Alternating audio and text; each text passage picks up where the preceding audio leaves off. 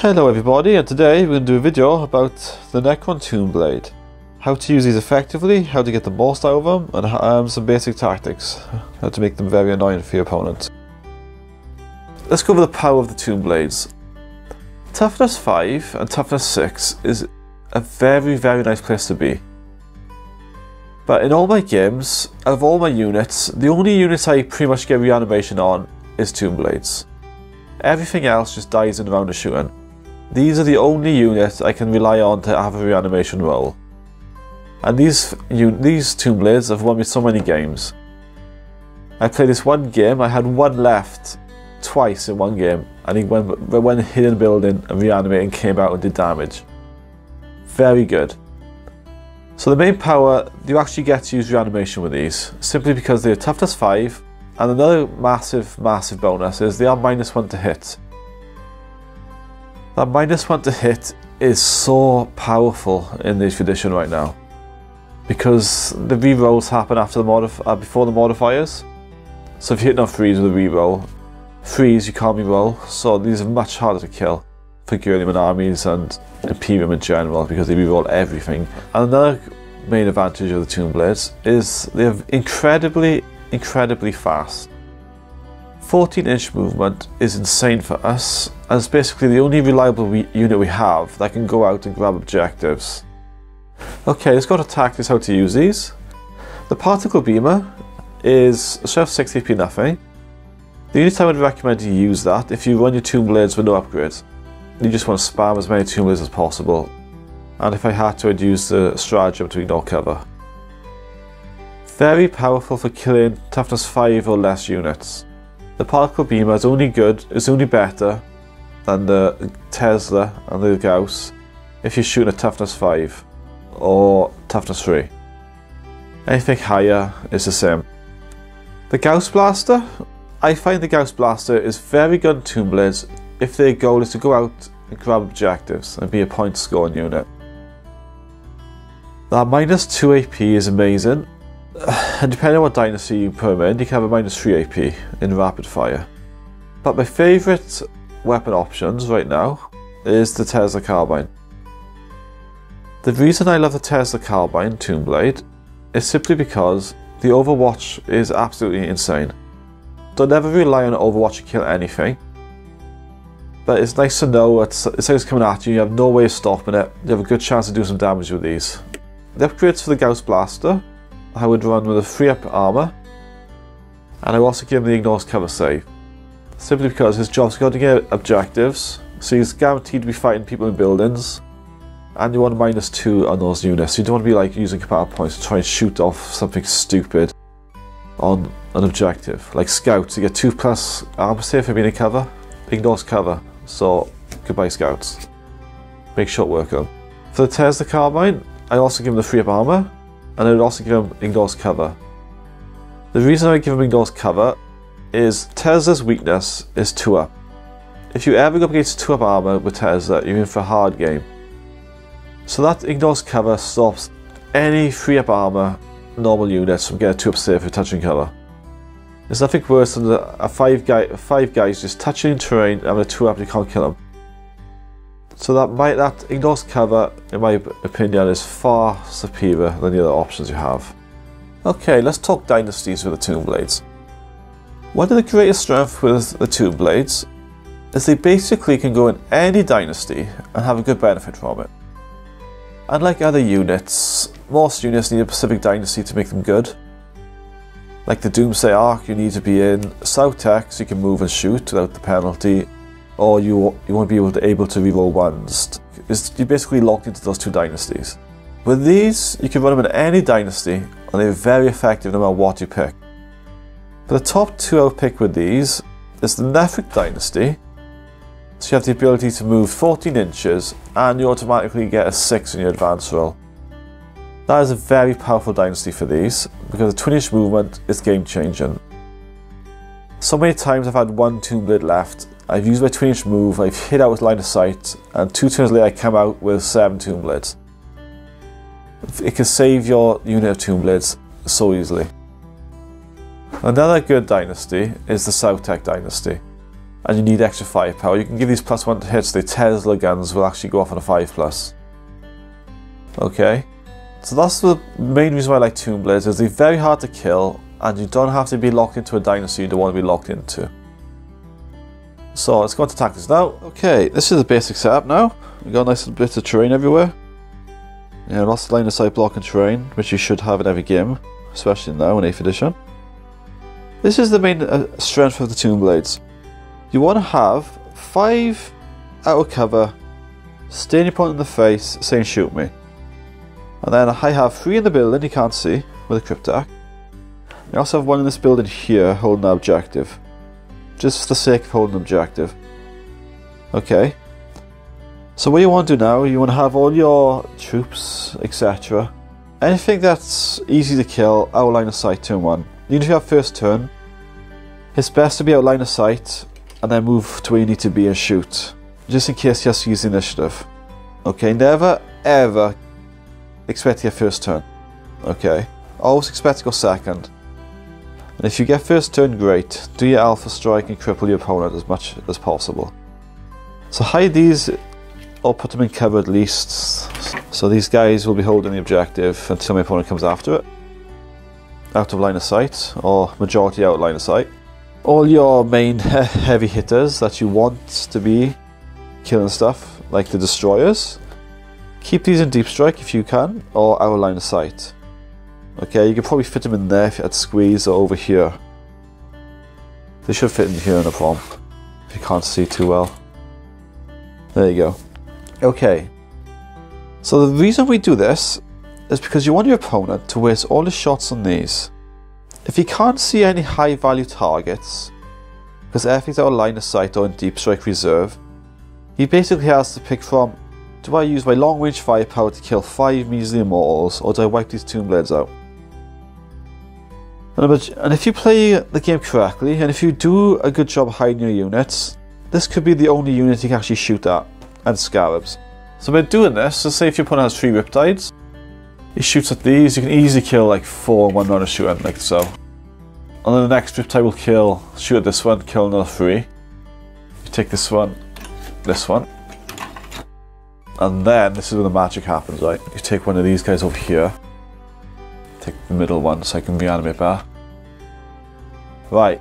Now, his third riptide can't shoot him I got two left in there. And this is what makes Tomb Blades so, so powerful. Because they're so hard to whittle down like this. And if you can make your opponent burn his first Alpha Strike turn of killing units on the Tomb Blades, you're in a very good place. Because you use two Riptides now, you destroy the Tomb Blades, but you can't finish them off because you can't see them. You may have like outline of sight weapons, but there's a good chance he'll survive. And you also got command points if you need them for armor saves. And because they're in cover now, they got two up. Much harder to kill. But this is why I love them, see. So once your opponents fight all his heavy weapons into these, he's like, oh crap, I can't shoot those. He'll shoot your immortals or whatever, whatever's available. Because you're in range of a cryptek, you get a 4 plus reanimation.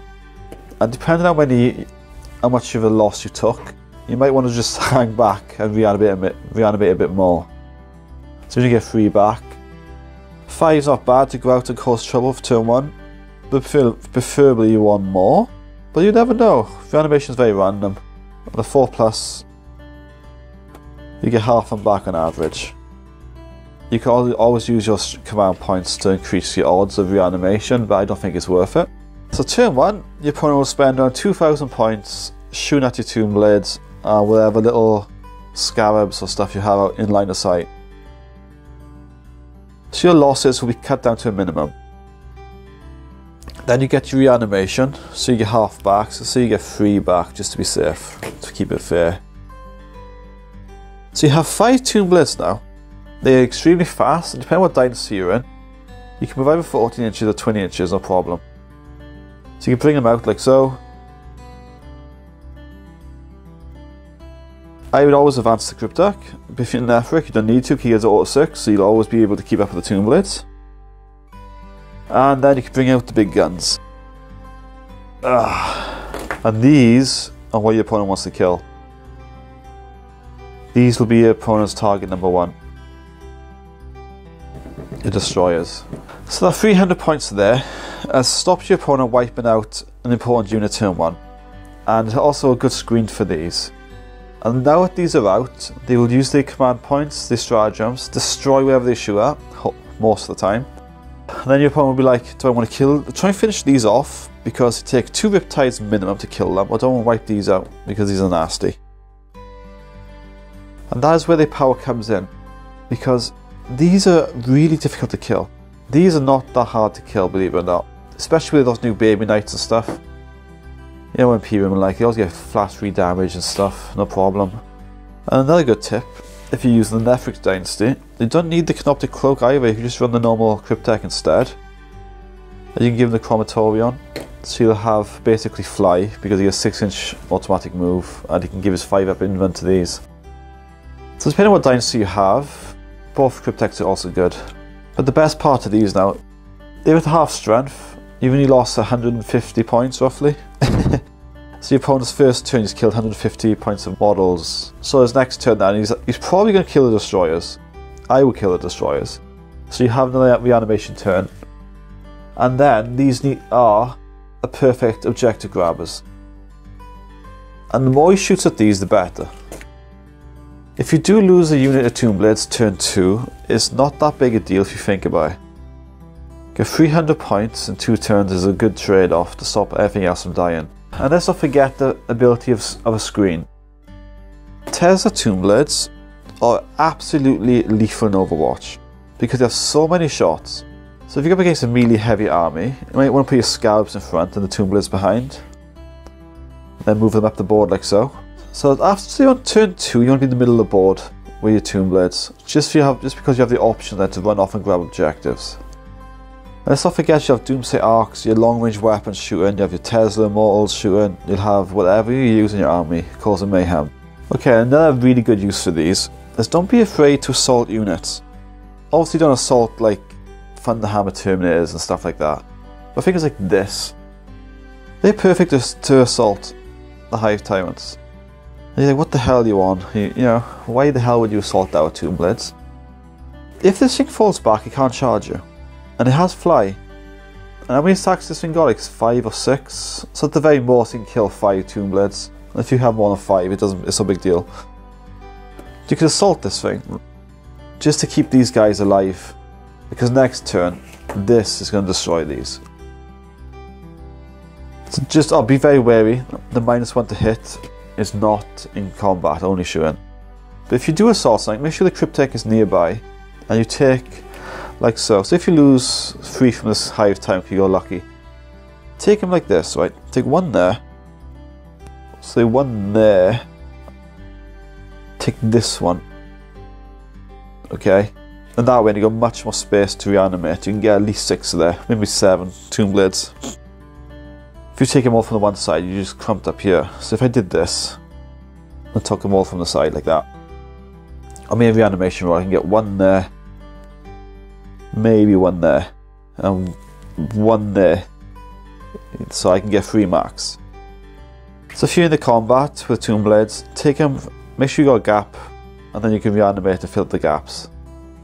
But then fall back, that's your unit coherency, and then shoot the, the Hive Tyrant. This is an emergency maneuver, right? You don't actually want to plan to do this, but if it's between destroyers and tomb blades, send in the tomb blades to die. You want to think of tomb blades as mosquitoes. It's just there, bugging the crap out of you and you want to kill it. If your opponent ignores these completely, perfect, because they hit extremely hard. But their main goal is keeping your, your army alive and making your opponent burn their firepower. You want to keep these moving up the field every turn. You want to be in your opponent's face and you want them shooting. And if you can assault a tank with auto stopper shooting, absolutely brilliant. There's nothing worse than just having all those tanks at the back of the field, Imperial Guard, fly over everybody and just assault the tanks. It's absolutely brilliant. you know, of course these can't kill a tank in combat, but 300 points. If you can stop six, seven hundred points of shooting a tanks for one turn, they've paved themselves already. So these are the basics of the Tomb Blades. The Gauss, uh, that's the Tesla option as a screen. The Gauss tomb blades, you basically do not want the destroyers near them. The Gauss uh, tomb blades can be used in the same way, obviously, but the main difference is they have a minus two weapon and they have rapid fire. So you basically don't want them guarding destroyers. You want them to be go up the side of the board. I'd like to use them on the side of the board. See that objective on top of that building there? What I would do, I would start them in outline sight, have four or five out so they can get shot at, turn one. Heal by Cryptek, and then you want to go up the side of the board, like so, and just cause as much problems as you possibly can. And they have 14 inch movement, so they should be in rapid fire turn 1 if you want them to be. Okay, but doing this, if you have one on each side of the board moving up, the opponent has the op is forced to deal with them. Okay, so this is turn 1, you come up the side of the board, you cause them problems shooting. Let's say you run a two, two units of gout, you have another unit up the other side. Their main goal is to cause as much trouble as possible and shoot your opponent off objectives. The turn 1 I'm there, maybe I'll just lose could I annoy my opponent too much? Say I'll lose that many. I'll use my command points to pass morale, or even if I lose more but one, like so, because I really annoyed my opponent, there's one left. So use my two command points to pass morale, and then I will do this. I'll fly out line of sight on my turn, pretend I got really unlucky and I won back on my animation and hide. And then they'll just stay there and regenerate. But that's 300 points of eating your opponent's fire, causing problems, and they'll grab the objective when I need it. Once they get to around 6, 6 or 7 Tomb Blades, I'll bring them back out and I'll just repeat. Okay, don't ever be afraid to just them up in the middle of the board like so and say eat it. That is their strength. So Gauss Tomb Blades are basically your, your objective grabber Tomb Blades to go up the board, grab objectives, shoot off the squishy units like the scouts or anything that's got a really weak armor save like Space Marines. You know, a 5 up save in cover is really good. And if you if you use the Mephrit Dynasty, it's a 6 up save in, in cover, rapid fire. And rapid fire Gauss is still very dangerous in Overwatch as well. Never underestimate the Overwatch for Tomb Blades, simply because they have so many guns. Ah, let's go on to the Particle Beamer. The particle beamer is basically not as good as it was in the index. In the index, he was good because things like this was toughness 6. But most monstrous creatures now, like the Riptides, are toughness 7.